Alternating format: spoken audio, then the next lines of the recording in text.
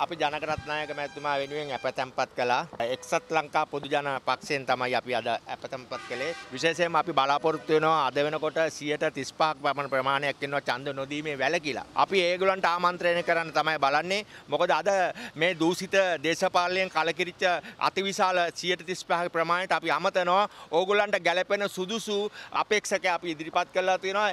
එක පැත්තකින් පරිපාලනය පිළිබඳව හසල දැනුමක් තියෙන ඒ වගේම මහජනතාව වෙනුවෙන් තමන්ගේ තනතුරු ආණ්ඩුව අයින් කරන තෙක් සටන් කරපු අපි වෙනුවෙන් සටන් කරපු නායකයෙක් අපි ඉදිරිපත් කරනවා. ඒක නිසා අපි බලාපොරොත්තු වෙනවා. මෙවර ජනාධිපතිවරණයේදී විශේෂයෙන්ම අර 135ක් වූ ඡන්දදායකයන්ට අමතන්න ඔවුන්ගේ ඡන්දය නොදා ඉන්න එපා. ඡන්දය දෙන්න අපි ඒ සඳහා සුදුසුම අපේක්ෂක ඉදිරිපත් කරලා තියෙනවා.